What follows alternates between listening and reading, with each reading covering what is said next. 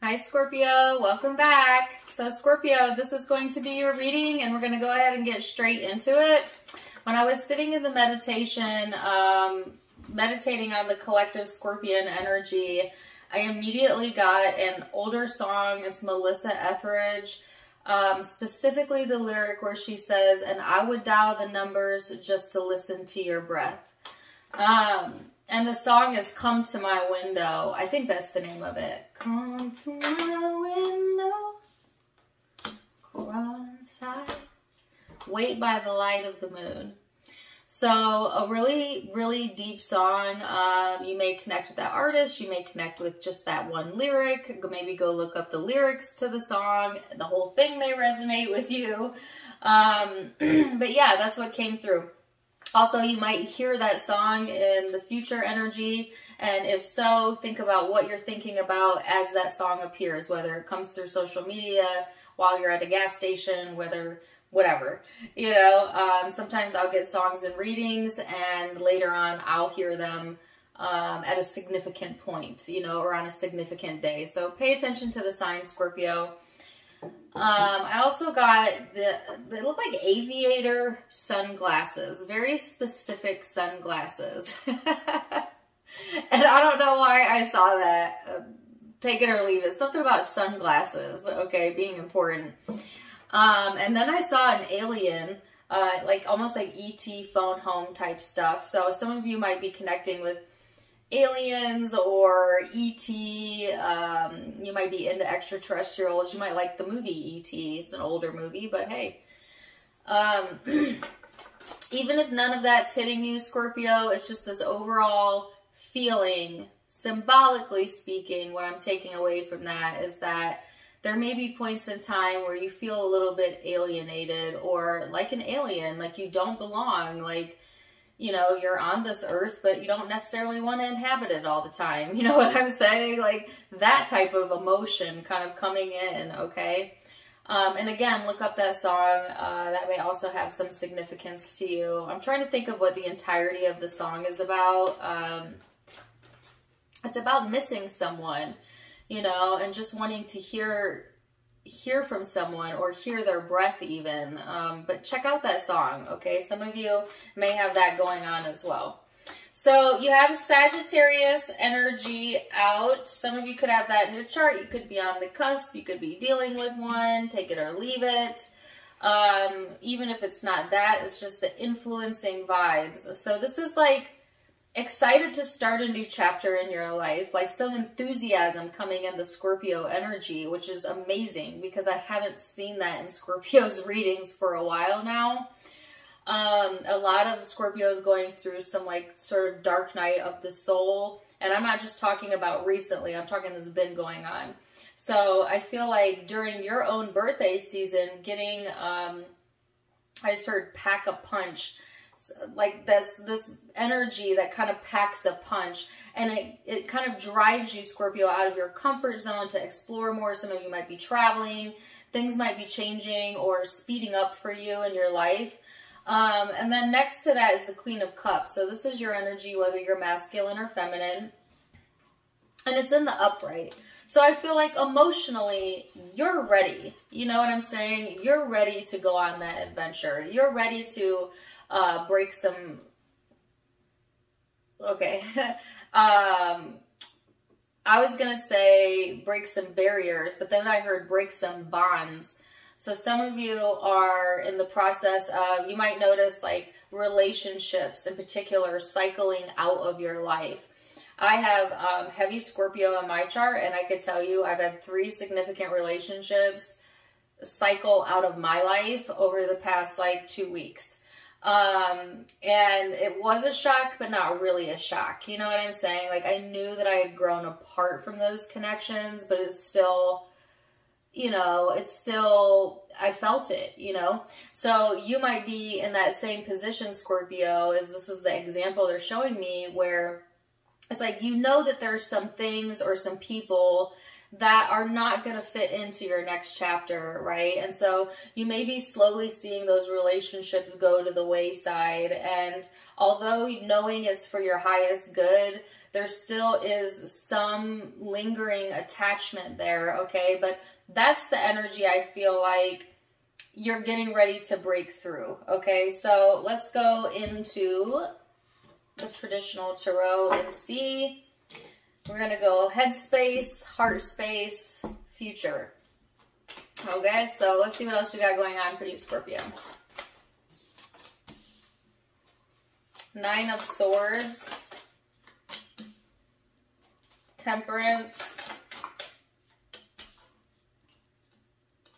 The Eight of Pentacles. And the Knight of Swords.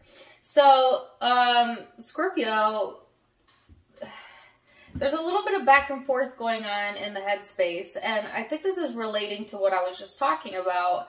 Like, it's it's the sense of like knowing that you're going on another path, okay? But maybe at nighttime or when you have a lot of alone time, you think back onto um, the past energy or you start to kind of let your concern or your worry or your shadow self, your darker self kind of creep in.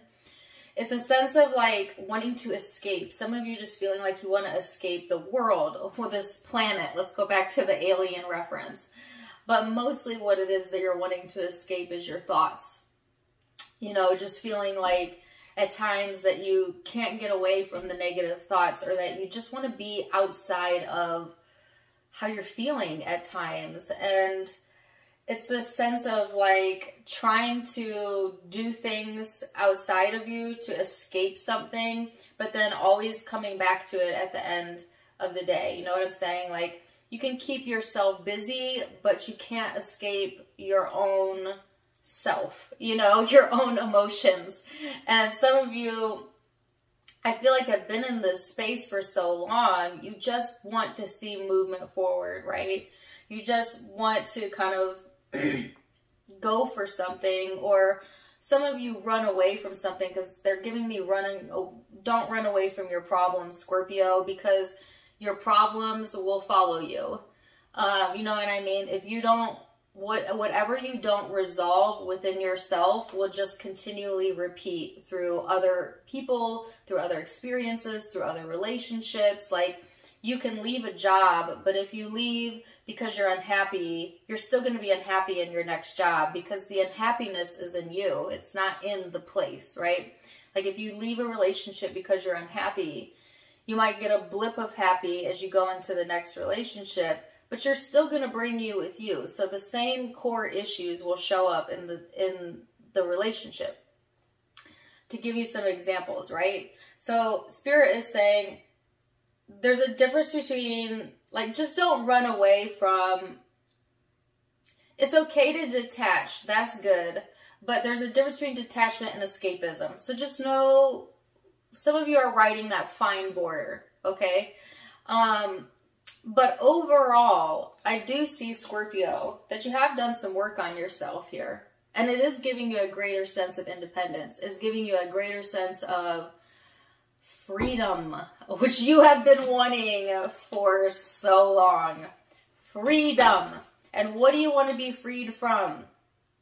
The stinking thinking, you know, the emotional bondage, the feeling that you can't be, do, or have what you want um, which is all a thought process, right? But I feel like, yeah, wanting to break free of that. So let's go into the emotional space, Scorpio, and see.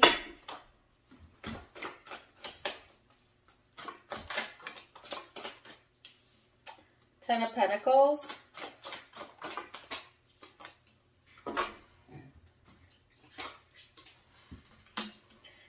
High Priestess. All of a sudden I got really dizzy there. Uh, I know some of you are having dizzy spells or there might be like a dizzying energy going on. Again, I talked about this in the last reading. The energy for the collective, regardless of your zodiac sign, has been very tumultuous during Scorpio season. Now, obviously, since you're a Scorpio, you're handling it a lot better than some of your fellow zodiac signs who are not used to this energy. But it is a bit like of a dizzying, very emotional, somewhat draining energy that the collective has been going through. All right, so you might have felt that as well. Um, and that's whether you're, you're Scorpio sun, moon, rising, or especially Mars. I have Mars in Scorpio, and that was hit, that placement of mine in particular was hit really hard. So check out your birth chart and see how that applies to you. But that could be where the dizzying stuff is coming from. Um, emotionally, Ten of Pentacles, High Priestess, Four of Wands, the Moon. So I'm really happy to see this, Scorpio. This is feeling a sense of belonging, okay? Feeling like, okay, I've got my feet on solid ground now. I have a plan. I have a foundation. Like, it's almost like seeing things come together. And it could be that intuitively you've been getting downloads or your intuition's been leading you to this space of feeling freer, feeling happier. Some of you connecting with friends or a relationship here. Um, and then there's this, they gave me the term after effect. So you know how, okay, you know how if like you go out and you're really elated to be out and you just party the night away, whatever. You know what I'm saying? Like, because you're in such a state of elation. And then the next day comes and boom. It's like you wake up and you're in the opposite energy. You're feeling groggy. You're feeling bad about yourself because you're fatigued. And when you're fatigued, your emotions start flooding in. Be careful with that, Scorpio, because I feel like you're getting like really high highs and then really low lows. Um, and it's just in part because the energy is just crazy right now, okay? So you might feel like at times you're on this roller coaster of, of, of like elation and then like almost drowning, you know, or getting some like anxiety or like uh what pushback or a setback or it feels like a setback but it's not a setback. Sorry, I'm getting a lot of different words.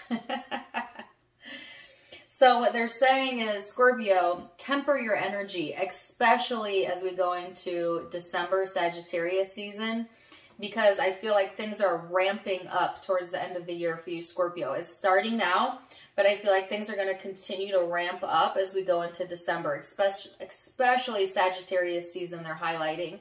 So you want to kind of proactively plan ahead for, yeah, some highs and some lows, but to stay aware, stay present, and don't let your emotions and your thoughts consume you or get the best of you, okay? So stay grounded, Scorpio, as this could be very exciting, but also at the same time draining. It just depends on how you're handling the energy. So let's go into the spiritual.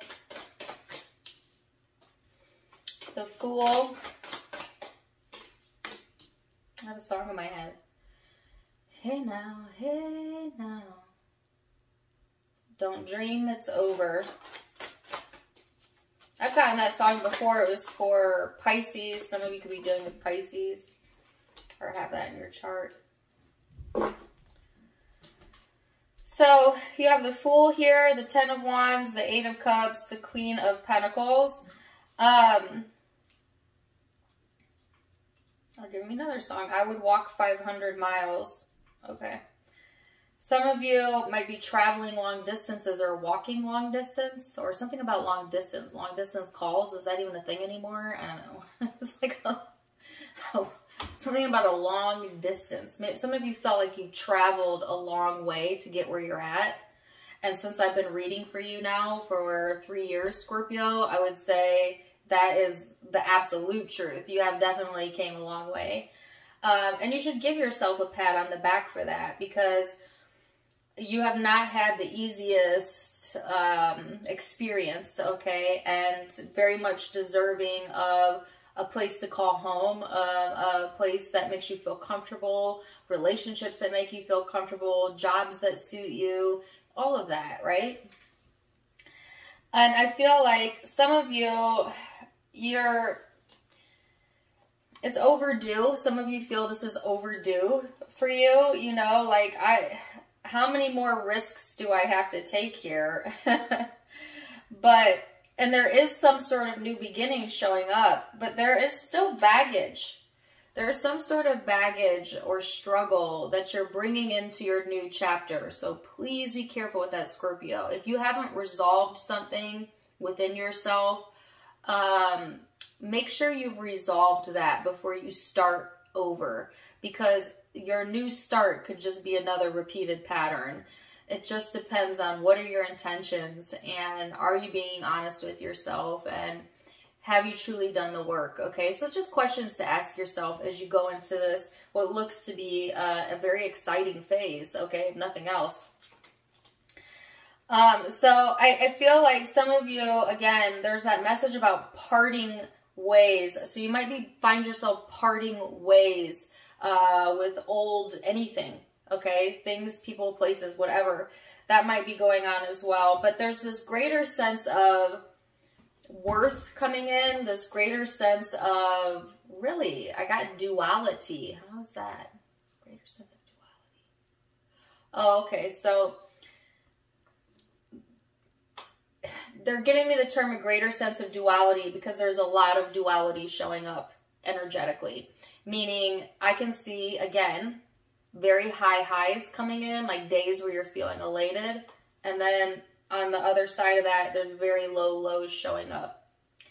And so there's a blessing in that, in a way. It's hard on your body when you go back and forth like that. It's a lot easier if you could stay a bit consistent. But the the gift that comes out of duality, especially extreme duality, is that it helps you to know without a doubt how much you like to feel good and what makes you feel good versus how terrible it feels to feel bad and what makes you feel bad. It helps you to better define who you are and what you want.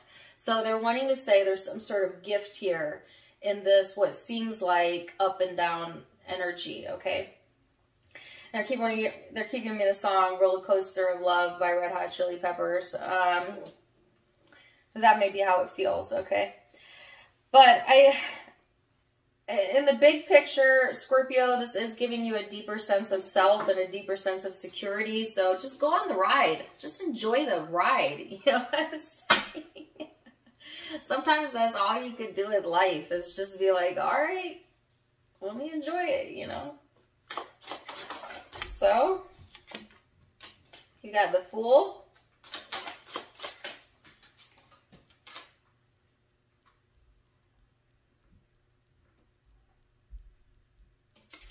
Okay, I got a song in my head. It's King Pop Princess. Is that it? I don't think that's it. She says, So I wait for you. Okay, this is exactly what I was feeling, but it's weird to see it come out in cards. You have the schizophrenia or the mental illness card. That's not to that's not to say that you yourself have mental illness, although someone could, you might have, I don't know. Um, symbolically speaking, this is that duality of feeling stretched between feeling good, good, good, good, good, and bad, terrible, horrible, you know? um, and needing to kind of bridge the gap by staying more in control of what you're giving your focus to. Um, there's that new beginning here again, but there is still something that's tied to you energetically, Scorpio, that is creating some sort of ripple effect here, just to be honest with you. But just trust that if you enjoy the journey and you try your best to stay positive and happy that things are going to work out for you, and let me see what the overall guidance is.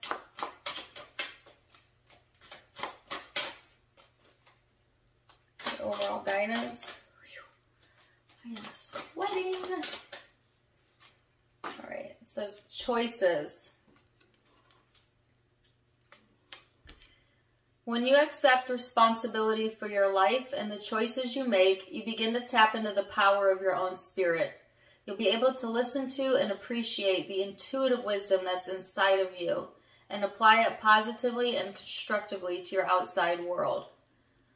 So you have some choices to make uh, here, Scorpio, and by tapping into your personal responsibility, this will help you to make better choices. And yes, I I'm hoping this brings you all the love and joy you deserve in your birthday season. Um, Scorpio, I'm going to leave it there. Could be dealing with Sagittarius or uh, another water sign, Cancer, Pisces, Scorpio, Sagittarius again, Pisces, um, Aries, okay. For some reason I want to say Virgo, but that could be in your birth chart, the birth chart of the person you're connecting with, or just simply the influencing vibes. Take what resonates, leave what doesn't. If it did resonate, do let me know in the comments down below. Also, don't forget to give me a like, share, and subscribe if you haven't yet. You can find me on um, Facebook and Instagram as well for more fun stuff as I do have videos there. Um, Tarot Time with Dana, all linked in the description box below. For those of you who'd like to donate to the channel, you can do so in the About section by clicking on the donation link. Either way, I'm wishing you the very best, Scorpio, and until next time, my friends, namaste.